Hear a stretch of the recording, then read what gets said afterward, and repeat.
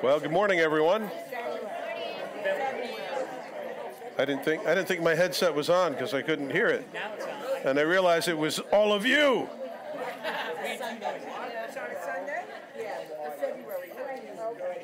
I want to thank you for good worship. You, you guys sounded great.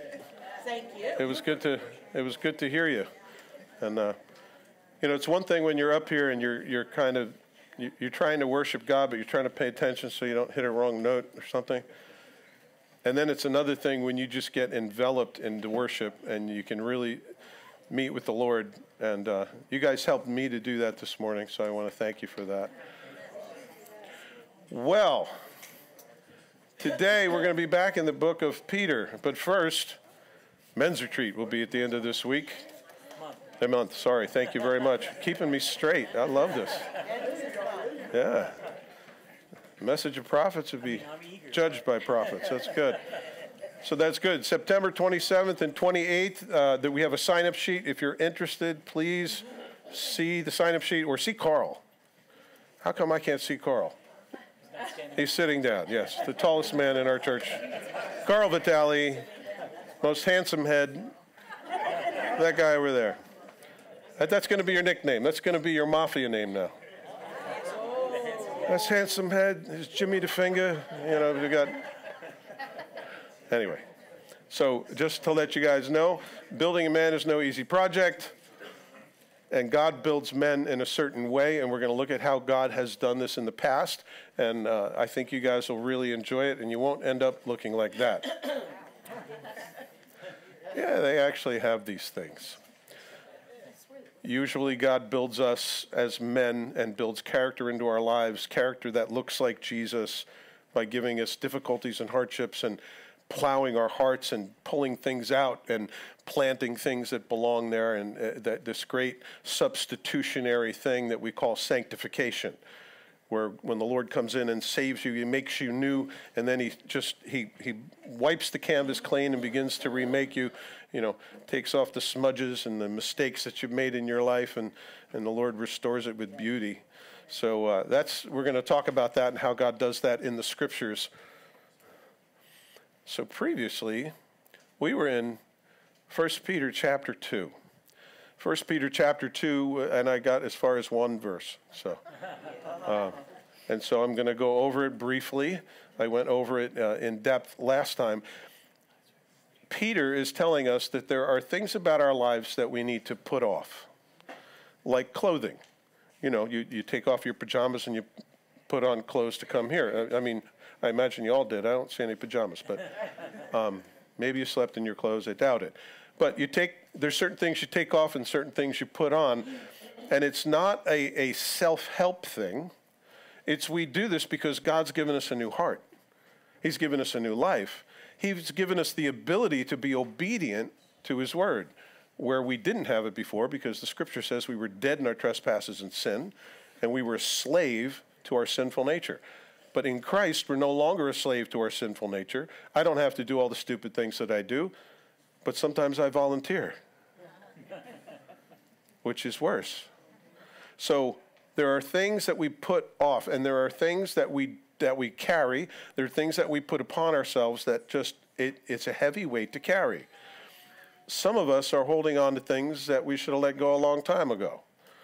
You know what I'm talking about? Can can can I be honest? Good, because I, I have I have the same struggles you do. There are certain habits that, that come flying out of me. I, I, I have thoughts of, of uh, taking people out. Now, you might not have that, but I do.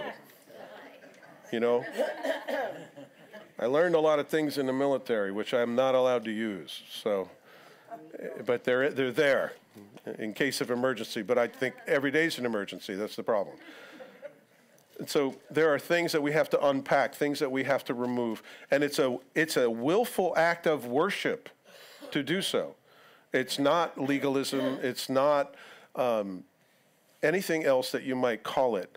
It is obedience to the Father. He saved us that we might reflect Him.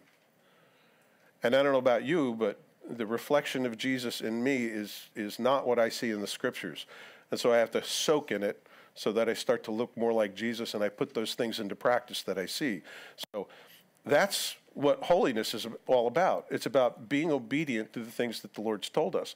And his his commands are not burdensome to those who have a relationship, those who have an engine. Racing's an exciting thing. To people that just have a chassis with no motor, it's a burdensome thing because you're pushing, right? You got to push the car with no engine. You guys get my metaphors? Okay, because we're about to dive into some heavy stuff, so I, I'm just giving you light stuff. So this is what we look like, and very few of us walk around with empty hands because we're, we're carrying things that we shouldn't. And so he begins by saying we need to lay these things aside because they're baggage. They're things that need to be gone. Number one, malice. We talked about what malice looks like. It's about having a decidedly angry, uh, malicious, evil attitude towards somebody. And we have, uh, I have, I have a bunch of car- cartoon characters in my mind that do that. And so I put Mr. Dastardly up there on the right, uh, or Wiley Coyote, and we talked about that um, last week. There are, there are, there's malice, and he's writing to Christians. So these are things that Christians presumably have in their life, right? Malice. Do you, do you ever have like ill will towards somebody? Like, I'm going to get that guy. You, you wait. And that's what he's talking about. We got to put that off because carrying that around will destroy us.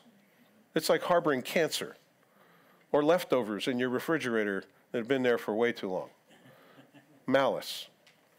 Deceit. Deceit, where you pretend to be something you're not, where you want people to believe something else. It, it, it, a narcissist is just uh, wonderful at this. They will try to just play you to get you to think better of them than they really are. Um, some people think that makeup is a form of deceit. But like J. Vernon McGee said, if a barn needs painting, you should paint it. That's the only time I quote other people's when I know that Reed is angry. The word deceit, it's, it really, it's like offering a fish a meal and making the fish a meal. That's really what deceit is. You're, you're throwing something out there that looks like it's edible and you're offering a meal, but what you're doing is you're trying to fish a meal out of the water and then the fish becomes a meal. And deceit is one of those things that should not be in our lives. Pretending to be more holy than we are, to pretending to uh, do more than we do, or to n- not be honest, just flat out honest, that needs to go. And so we got to put it off. Amen? Amen? All right. Hypocrisy. Hypocrisy is deceit is when you're trying to deceive somebody specifically. Hypocrisy is a way of life where you're pretending to be somebody that you're not. You're play acting. You're being a certain person um, that you think you should be or you want other people to like because they won't like you if they really see who you are. Hypocrisy is one of those things that your life just doesn't measure up to your words. When your life measure up to your words, it's called integrity.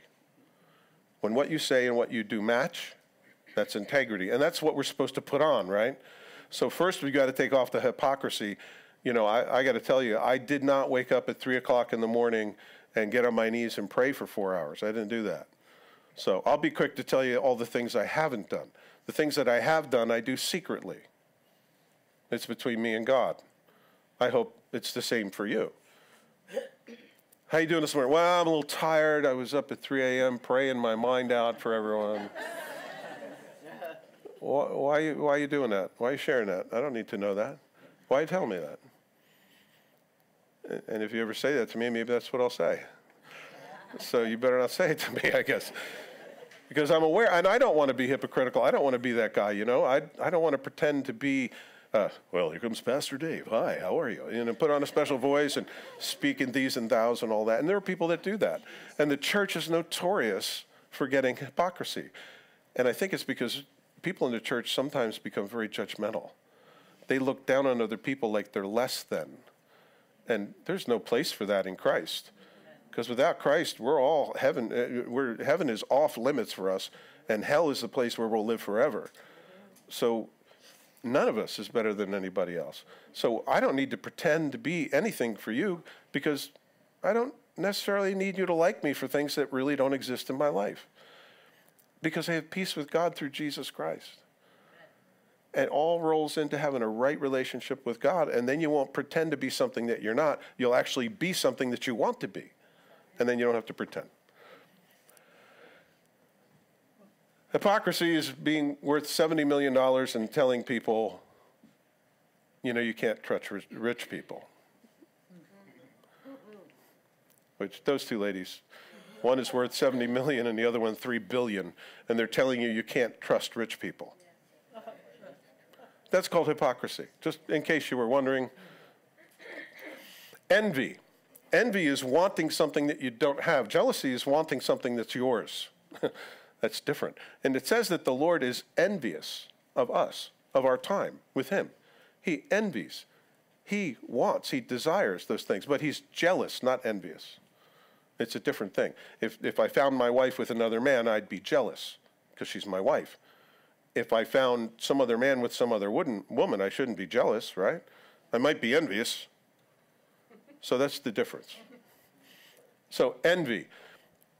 And what happens is you, you have this desire that's unfulfilled. And when you have a desire that's unfulfilled, I mean, you, you start writing stories like Romeo and Juliet, struggle they went through, this desire that's unfulfilled, this unrequited love, this unreturned love, and, and you get into abandonment and all of that stuff. Making of, of good Greek, you know, tragedy. Um, somebody loved somebody, but they didn't love them back, and they loved someone else, and you get the love triangles. You know, you find it on TV all the time. Envy. It's, it's wasting away. It's something rotting away inside you because you want something that you don't have, and you think you should and so you desire it and you want it. And you know what the opposite of that is? Contentment. Contentment. What I have, I'm pleased with. It's, it's not about getting everything you want, it's about wanting everything you have. Right? You guys know this. You guys are very quiet today. And this is just a review. evil speaking we're to put away. Oh boy, evil speaking. I'm sure you folks never have any trouble with your mouth. Uh, I mean, I have no trouble with eating, obviously, but it's the stuff that comes out of my mouth, that comes out of my heart, that degrades me. And evil speaking is tearing down the integrity of somebody else, tearing down their reputation, tearing them down to someone else. Now, that's what we call gossip. Uh, if you do it in writing, it's called slander. And so you have to be, or libel rather, if you do it in writing.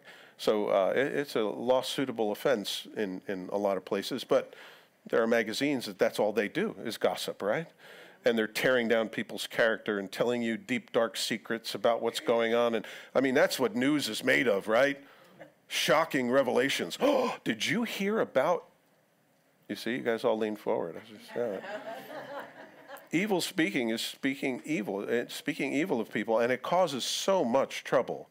You can, you can start a rumor and actually watch it go around you can actually watch it go around and you hear people repeat it back to you and you go, that's interesting. Who'd you hear that from? Oh, I don't know. Oh, okay. Did you ask that person about this? Well, no, I, I could never do that. Why not? if, if somebody told you something dastardly about me, would you just pass it on as a juicy nugget or would you come to me and say, like Carl would? He would hey, Dave, but I, I heard something. I, I don't know. Correct me if I'm wrong. But I heard this thing. And I'm just wondering. I'm sorry to bring this to you, but like he's very, very cautious about that kind of stuff. Other people storm in my office, put their finger in my face, and assume it's true, and then add to it and, and accuse me of things I've never done. So, you ever have that happen? If you haven't, brace yourself. it's coming because evil speaking is everywhere. And this is something that Peter, the Holy Spirit's telling us through Peter, we got to put it off. Put it off. So, I, I brought this up the, the think thing. Any of you remember the think thing that I talked about? Before speaking, you should think, which means, and what, I, what I'm about to say, is it true? And you have to do some research before you do that, right? Is it helpful? Like, why am I sharing this? Is this going to help the other person? Is it good for their edification? Number three, is it inspiring? Is it something that's going to inspire them to do something good, or it's something that's going to make them just lose all the wind in their sails and just say, oh, well, forget it. I'm not going to do anything then. I, quit, you know? Is it necessary? I mean, does everyone need to know everything in your life? This is what I imagined. I imagined you all said, no, but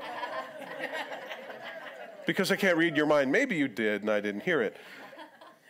Does everyone need to know everything? No. Oh, thank you. Good. Because, you know, we're supposed to carry secrets, right? secrets because those things disclosed are going to defame other people and then we get into that evil speaking thing right so is it necessary that this person know what i'm about to tell them and number four is it kind is it kind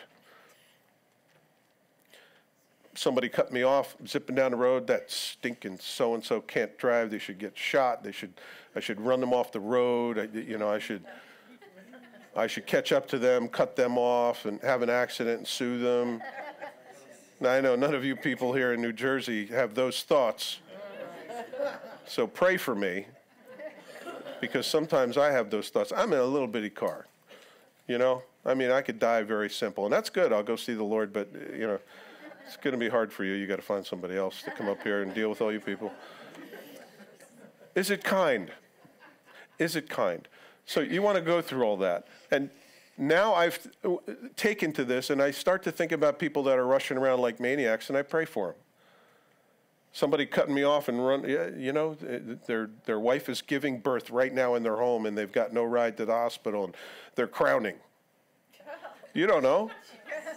You don't know. You don't know. They're firemen. You don't know. You don't, you have that, their house is on fire. You don't know. You don't know. So what I want to do is be kind. You know, maybe give them the benefit of the doubt. You know, oh, so and so, blah, blah, blah, blah, blah. Have you thought about this? And just throw a possibility that maybe they don't understand. Maybe they were dropped as a child. Maybe they maybe they're beaten by their wife. Maybe like you don't know necessarily where people are coming from or why they do the things they do, but we're so quick to judge, aren't we? And think we know when we don't know. So we have to ask and find out if what we're thinking is true, if it's helpful, if it's inspiring, if it's needed, and if it's kind, then it can come out of my mouth. And so I try to filter everything through that. Uh, it's a good idea, right? Okay, that's not from the Bible, but I think it's smart.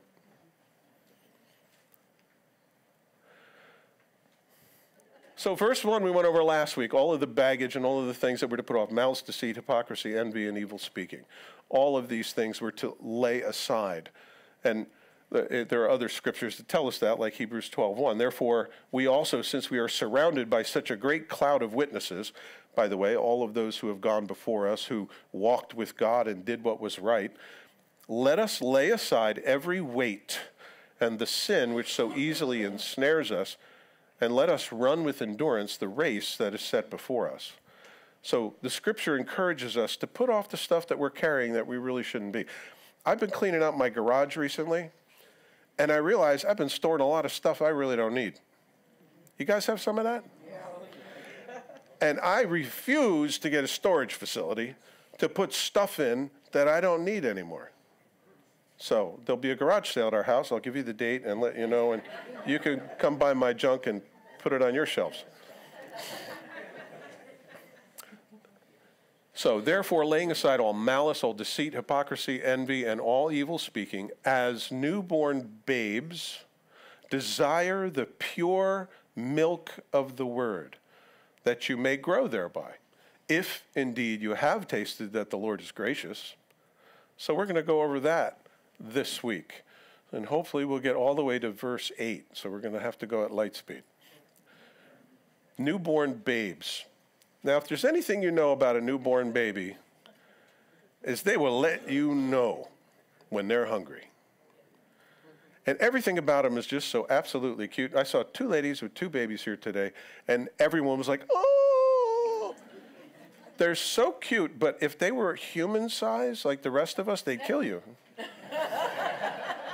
They would Because when they want something, they want something, and they don't, they don't care if they tear your face off or rip your esophagus out. They don't care. They don't understand consequences. And so that's the way that it is. But everything about them is just absolutely wonderful, except what, what comes out of them their mouths. Because they weep and they cry. Yeah, the other end's not so great either, but we are to be like newborn babes in the fact that we should crave spiritual food, the Word of God. That's really good advice. And yet, so many of us don't mind missing meals. and we're supposed to desire the pure milk of the Word. You know, reading is one of those things that just seems so inconvenient and so old school now because, well, we have electronic devices that we spend hours on every day, right? So I don't know about you, but I have I have like a whole load of devotionals and stuff, and but after a while, I got to step away and say, "What in the world have I done?" because I get sucked in. There's something about a book on a nice day outside, or at the beach, because we still have days like that. Just spending time with God alone. There's there's something special about that, and maybe I'm just old, but opening up a book and just having that relationship with the Lord and learning things is just such a, a, a wonderful thing, and it causes us to grow. So it's called reading. It, it's how people install new software into their brains, right? That was supposed to be a joke, you know. people don't know what a book is, you know. There are a lot of things that younger people aren't going to know what they are, you know, like a key to your car. A key? What do you use that for? I got this thing in my pocket. I walk up to my car, it opens by itself, and, you know, as long as I'm in the car, it starts. It's just a button. What's that key for? You watch, it's coming. I, I said a long time ago, they're going to start charging us for water. guess what?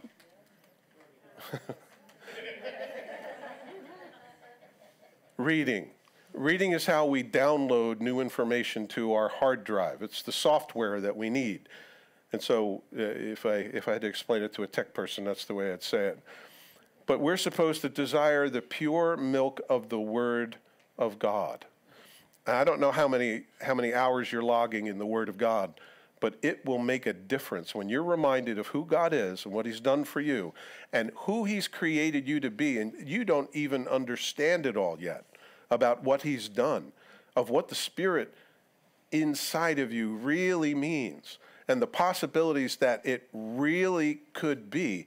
We don't, I, I think we're, we're not tempted by so many great things. We're just tempted by so many small things.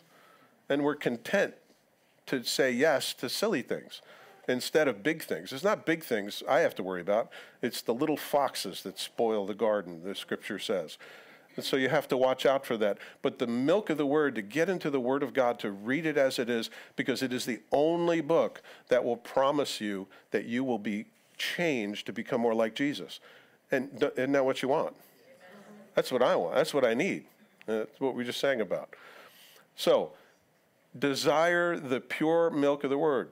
In Luke 18, 17, assuredly I say to you, whoever does not receive the kingdom uh, of God as a little child will by no means enter it. We have to come to God with nothing in our hands, nothing to boast of, nothing of our own, but just, Lord, I need you to fix me. I need you to change me. I need you to erase stuff out of my head. And by the way, He's good about doing that. You know, the more I remember how much how angry I am at somebody, how they've hurt me in the past, the more angry I get. Is it that way for you? It's like a fire you keep putting logs on. You know what happens when you don't put logs on anymore? Fire goes out. It's like words. You get somebody who's angry and you, you just keep speaking to them, you're not helping. More words, more trouble. You get in an argument? You guys don't know this? More words in an argument, it just means more trouble. So learn to shut up. If you forget, I'll tell you. I'm just kidding. I would never say that publicly. So, babies, we're to be like babies and desire the pure milk of the word. In Psalm 119, verse 11, the writer says, I have stored up your word in my heart that I might not sin against you. All of 119 is all about the Word of God and all of the benefits. And David is just going on and on and on about his desires and about how he loves the Lord. He loves his laws. He loves his precepts. He gives, and you read through 119 and you're like, wow, I'm a real schlep here because I don't, I don't have a love for God and His Word like David did. Maybe that's why I have my life and he had his. But that passion that David had eh, to write that psalm it's looking at how important it is for God's communication to us, for us to change so that we might become more like Him. In Psalm 119, 105 says, Your word is a lamp to my feet and a light to my path. In other words, it's going to it's going to tell me how I should walk and what I should avoid and where I should step. And it's going to enlighten my path ahead so that I'll be able to make right decisions. What happens if you don't have a lamp and a light? I do this when I get up early in the morning. Find the wall. Okay, I'm good. I, I have to have a reference, you know. Or I'm in the shower and I have I have soap in my hair, but I'm going to shave at the same time because I'm already soapy, and I'm I'm gonna I, I like where's my, you know, and you go for the razor. But when you have a light and you have a lamp, you'll be able to see clearly. But without which, you're just going to be groping around in the dark, and you can have a lot of mistakes. I, I, think of the story of the man who he had a, a built-in pool in his yard, and uh, he went to go swimming one night before going to bed, and he didn't turn the lights on. He just kept it dark, and so he got up there and um, got on the on the diving board. He was ready to dive in, and his wife flicked the lights on, and he says, "You don't you don't have to do that." And he looks, and the pool's completely empty.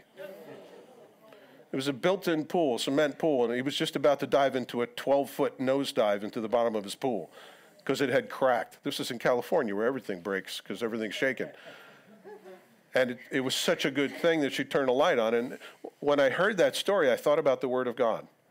It's a lamp, it's a light, and it's going to help me to know where to go and what to do. And it's going to help me that I don't jump off things and go headlong into a concrete bottom. God's Word. Job 23:12 Job says, "I have not departed from the commandment of his lips. I have treasured the words of his mouth more than my necessary food. Job said that God's word was more important to him than a meal. Not just an optional meal, but a necessary meal. Like, I'm really hungry here. And he says, Your word is more important to me than eating. The silence descended deeply that day you get the idea that maybe there's a there's hidden spiritual life that we're missing out on? That there's a heart change that should be occurring that we just don't have? That there's room for us to put some stuff off and have some things added to us? When I read the Word of God, I'm inspired in that way. Once I get over the depression, I go to God and say, God, I, I'm just not like this. You get, I want to be like that though. So help me, right? And that's when things begin to happen in 1 Corinthians 3 2. Paul is uh, then referring to the, these immature Christians in Corinth, and he says, I fed you with milk and not with solid food, for until now you were not able to receive it, and even now you are still not able. He was speaking to the Corinthians and saying, Listen, I'd like to give you some, some bigger things to chew on other than the milk of the word, the, the simple, necessary things. But you, you guys aren't ready for that. You're not ready for meat. So, and if you read that book, it seems pretty deep to me. Um, it doesn't seem like milk at all. But he said, I'm just telling you simple things. I, I can't even get into some of the finer things yet. In Hebrews 5 12 to 11, we see the same idiom. For though by this time you ought to be teachers, you need someone to teach you again the first principles of the oracles of God. And you have come to need milk and not solid food. For everyone who partakes only of milk is unskilled in the word of righteousness, for he is a babe. So you get the scripture saying we should be like babes and desire the milk, and then it goes, and then there's this other side which says you can't stay there though. You can't stay. It's a good place to start. And In fact, we will never run short of near, needing to hear the gospel, the basics. I, I don't know about you, but I, I just love Matthew, Mark, Luke, and John go through Matthew, Mark, Luke, and John. Matthew, Mark, Luke, and John. Matthew, Mark, Luke, and John. I am, I am an addict to the gospel. And I just, because it reminds me of all these things. I recently went through Matthew 5 and I was like, wow, I think I forgot half of this stuff. You ever do that? You go through your Bible. It's even better when you see notes and stuff and you go, wow, that's insightful. I wrote that? You ever, you ever do that? Go, go into an old Bible and there's all these notes and you're like, wow, I, need, I needed to hear that. Thank you, younger me. and of course, it's the Holy Spirit, right? And He speaks to us and we, we get things in our heart and we write it down, but sometimes we can drift away from that. We will never, ever overgrow the gospel of Jesus Christ. That you're a sinner, you need to be saved, you're in process, you're not a finished thing, and God wants to do incredible things in your life if you let Him. It's all about cooperation. Verse 4 So coming to Him as a living stone, rejected indeed by men, but chosen by God and precious, you also, as living stones, are being built up a spiritual house, a holy priesthood, to offer up spiritual sacrifices acceptable to God through Jesus Christ. Now, when you read through Peter, you're going to come to little sections like this that are just loaded with meaning and packed with analogies. He's saying, a living stone. He's calling Jesus a living stone. I wonder if that's where the, the name Livingston came from because it's living. Hmm. A living stone. Now, you wouldn't think of a stone as being alive, right? They actually have living stones, stones that grow. It's rather interesting. I didn't bring up a picture because it was trivial and didn't think you'd be interested. But anyway, stones don't grow, right? They get wet. I mean, that stuff grows on them, but they don't. They're not living. You, you won't.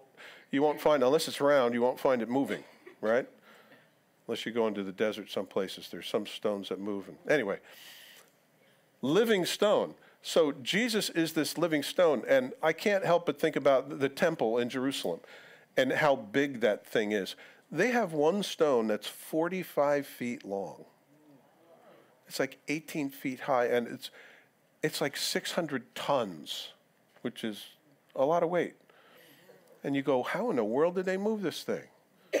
they found the quarry actually where they got the stones, and uh, they they have writings like Josephus writes about it. Some of the other historians about how they moved these stones. Um, you'll see the little pockets. You see the little pockets in that stone. By the way, that's one stone. It's limestone. It's a big giant one. They actually put boards inside there so that they can kind of push it along on, on logs. But anyway, I, uh, this is what I do. I spend late nights reading on things that I don't understand we are coming to him as a living stone. In Ephesians 4:15 and 16 it says, "But speaking the truth in love, we may grow up in all things into him who is the head, who is Christ, from whom the whole body is joined and knit together by what every joint supplies, according to the effective working by which every part does its share, causes growth of the body of the edifying of itself in love." Now, if you can imagine, if you've ever gone to Jerusalem and seen the, walls, these stones are so perfectly fit together, you can't put a credit card between them. I mean, it's, it's incredible. And none of it was done in the city of Jerusalem itself. It was all done at the quarry. Because there's a scripture in Kings that says that there was not heard the sound of a hammer or a chisel in all the temple area which means all of these things were pre-fitted. This is a prefabbed house, okay? Except in stone that they did at the quarry. I just find that absolutely amazing. You know, we think people that are, that are old or lived a long time ago didn't have any intelligence. Well, you need to do some research. A living stone. You know, not only is Jesus a living stone, but he also says that we're living stones. Now, I can get that you know, and, and to be able to get us to fit together with that precision that they do with these walls, eh, you know what happens? We're, we're rubbing up on each other. Uh, rubbing up uh, the, the sharp edges of you are scratching on me. And the rough edges of me are scratching up on you. Like, hey, hey, hey, hey, go, go, go. Go and that's how we get knit together.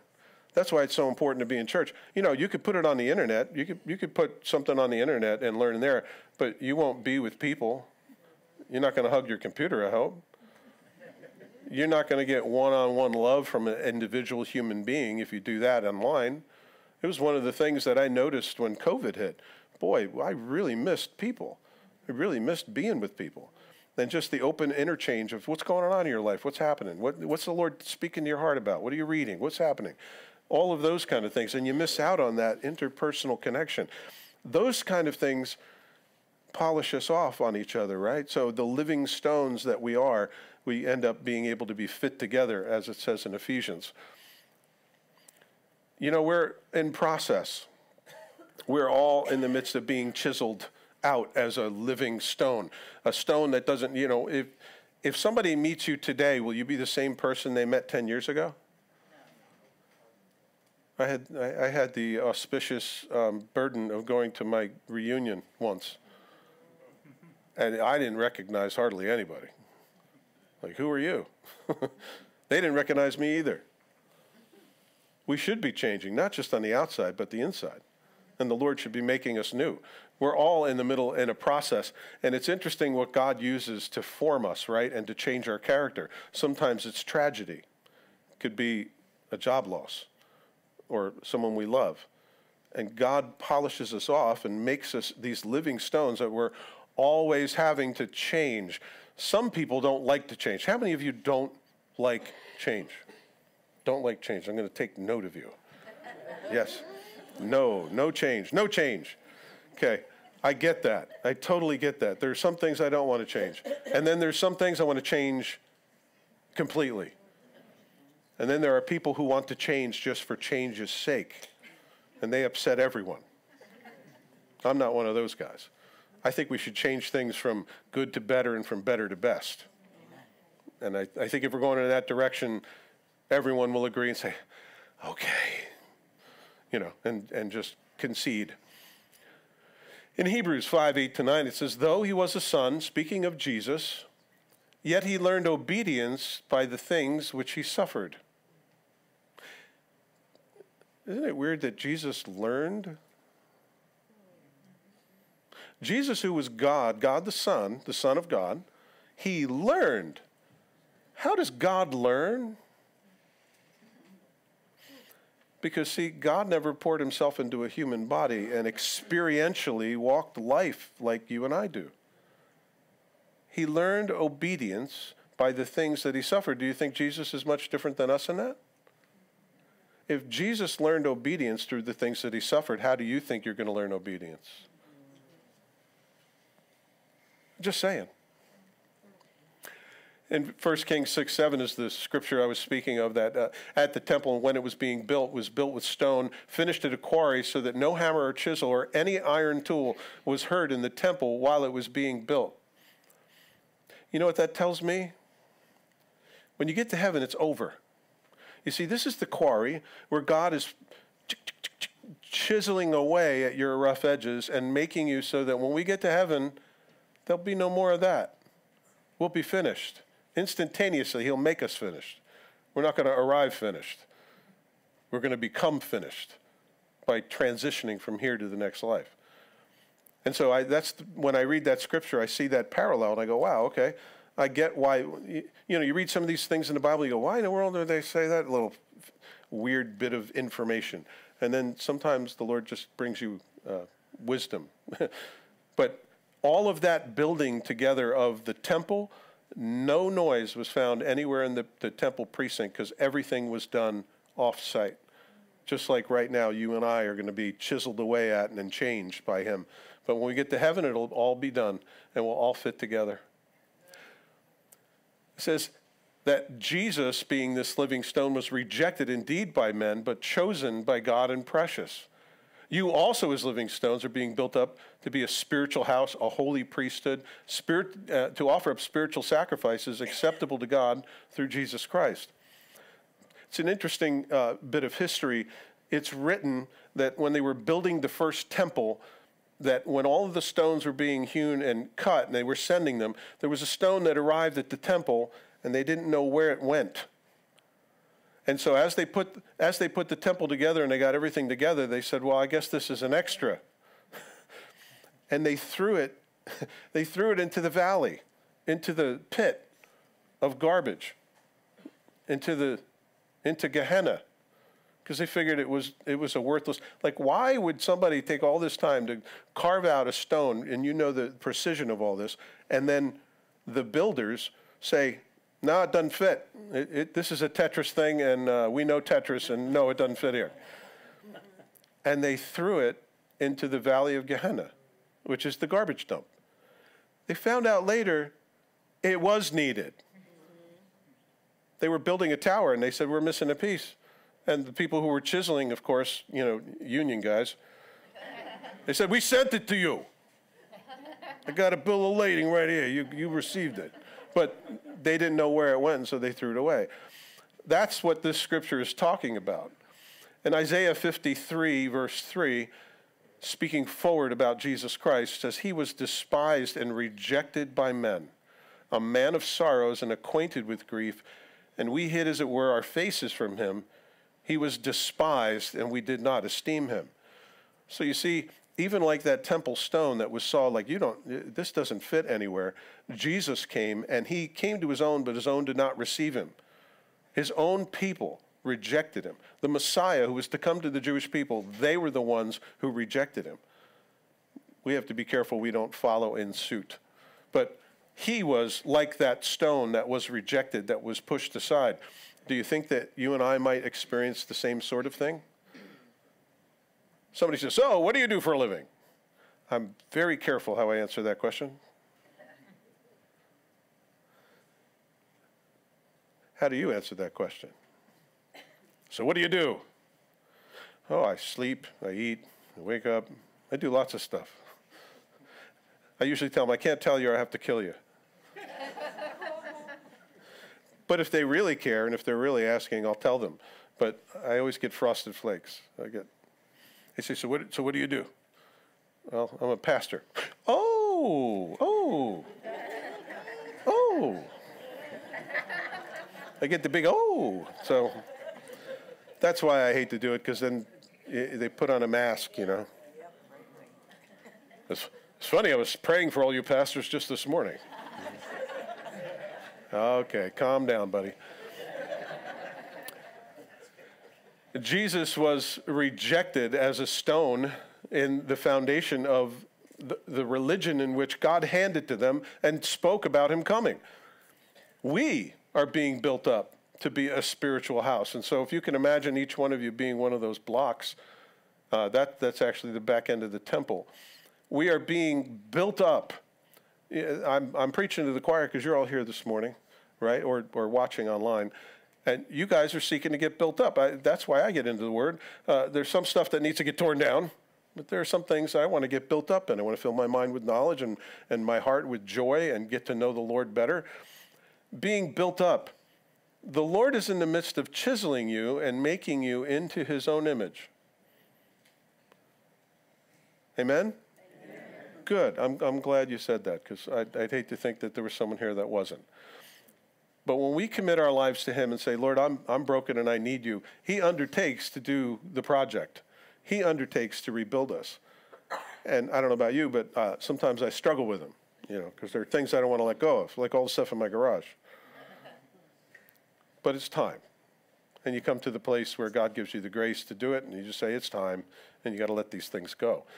But we're being built up to be a spiritual house now, you think of a spiritual house, you think probably the temple in Jerusalem might be what he's referring to.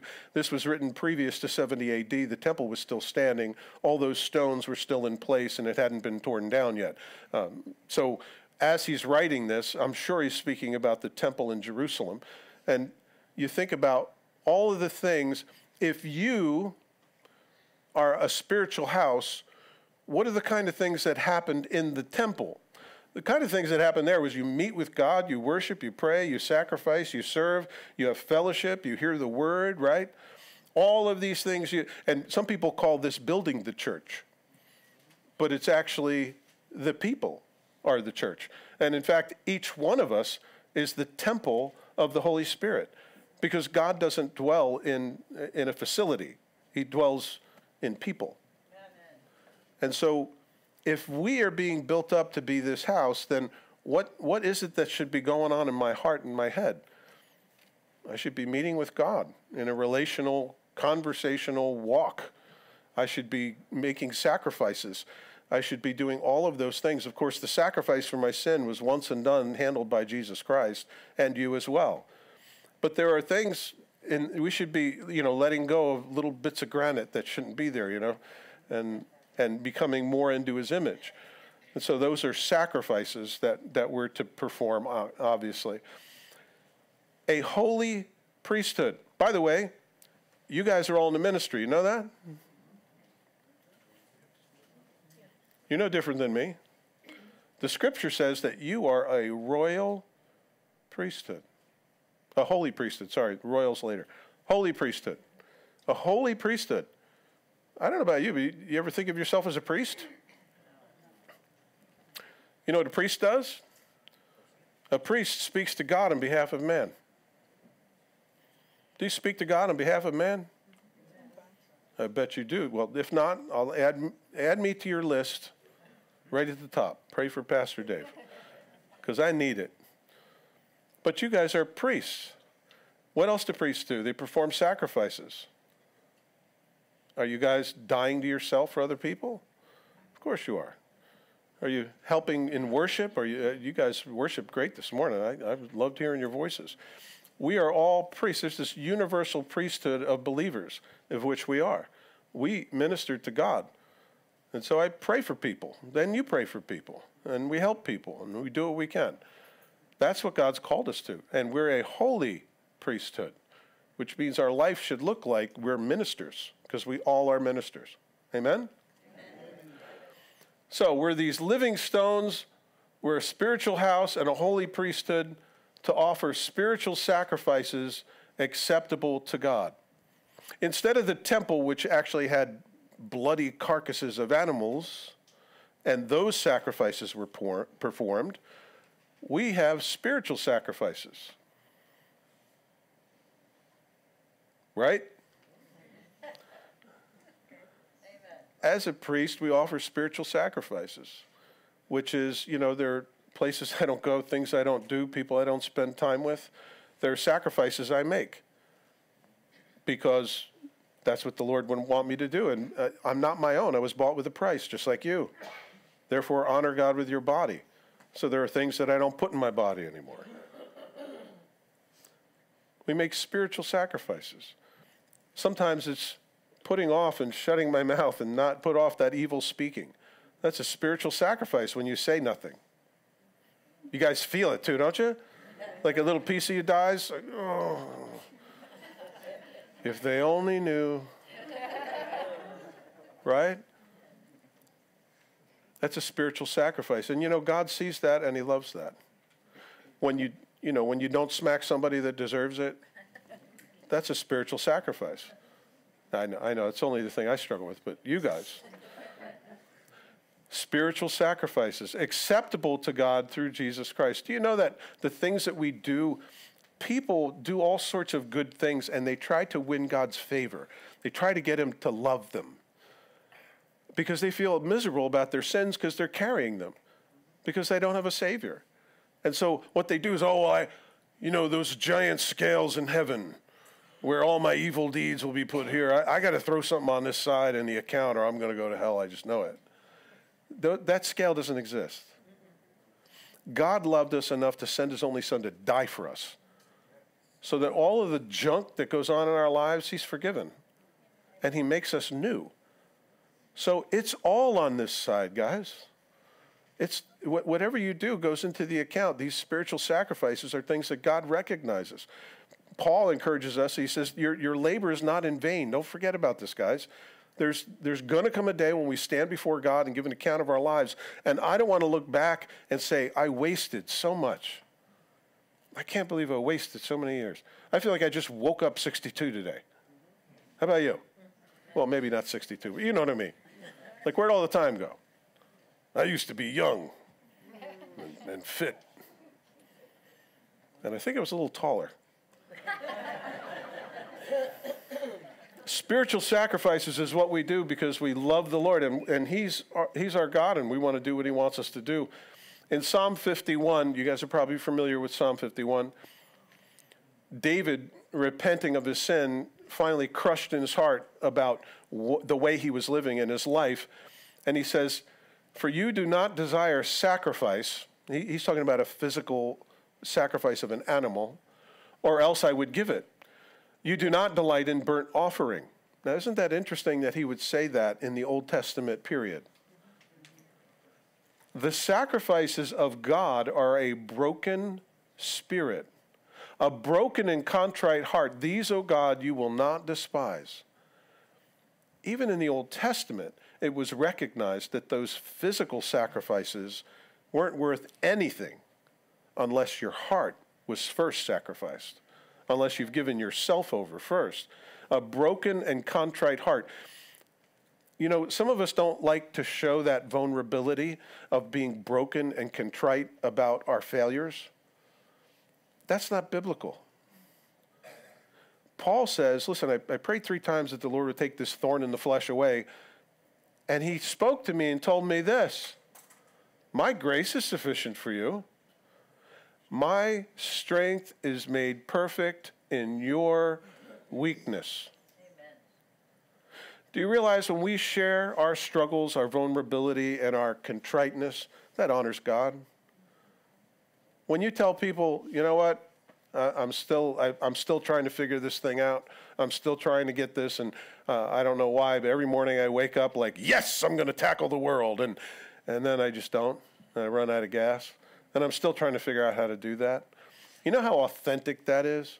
You know how refreshing that is to a world that's got a mask on pretending to be something they're not? Let's be authentic people. Because what God values is a broken spirit and a contrite heart.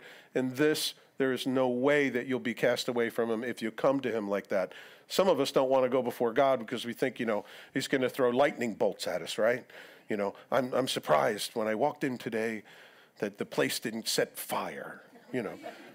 Some of us believe that about God because we've had fathers maybe that way. And so we have a hard time reconciling who our Father in heaven is. But here, the sacrifices of God are a broken spirit, a broken and contrite heart. These, O God, you will not despise. Do good in your good pleasure to Zion. He's asking God to bless uh, the, the city. Bless the walls of Jerusalem. Then you shall be pleased with the sacrifices of righteousness, with burnt offerings and whole burnt offerings. Then they shall offer bulls on your altar. You see, what he's saying is, you got to get your heart right with God first. Because all the stuff you do on the outside, if your heart's not right, it doesn't mean anything. So, what you do is you get your contrite heart before the Lord, you confess your sins as we confess our sins one to another and pray for one another that you may be healed, the scripture says as we do that, we become equipped. We become equipped and not disallowed from being able to serve. But it's got to start at the heart. You've got to be willing to give him those things that he's asking for. Because if we don't, all of the other stuff that we do won't mean anything. I can, I can walk in this door and pretend to teach a class and, and uh, uh teach the Bible, but if my heart's not right, this is going to flop and I'll be out of a job real quick. So if it's that way for me, I imagine it's that way for you too. Because everything else that we do comes from having a right relationship with God. If you have never come to the place where you said, Lord, I'm a failure, your Bible, your scripture says that I'm a sinner, and I get it. In my heart of hearts, I know that. Maybe other people think I got it all together, but I don't. And I need a Savior. I need you to change my heart and change my mind and change my life because I've made a mess of it. If you've never come to that place, then you need to know Jesus. And he waits with open arms because a broken and contrite heart he will in no way cast out. So I just want to exhort you if you have not done that, or if you're at a place where you've got something besetting in your heart, you can put that off right now. You can put it off right now and give it to the Lord and ask Him for strength to repent and get the heck out of it. As the worship team comes up, I want you to pray with me.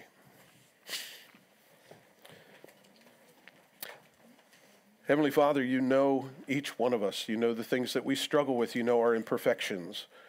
And yet, we know about your grace. We've read about it. We've sensed it in the past. And Lord, we prevail upon you to sweep through Grace Bible Fellowship, that your Spirit might sweep through each one of our hearts, Lord, and restore us to a place of being 100% right with you.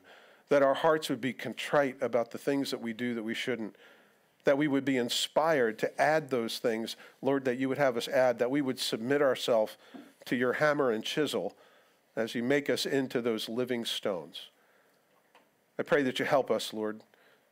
Our minds and our hearts become contaminated by walking around in a dirty world. I pray that the hearing of your word and the moving of your spirit and the fellowship of this place, that you would work. You would work that which is pleasing in each one of us. So, Lord, we commit this to your care. We look for you to move because we need it individually, we need it as a body. And Lord, our country needs it. So, Lord, I pray that you help us. Revive us again for you. In Jesus' name.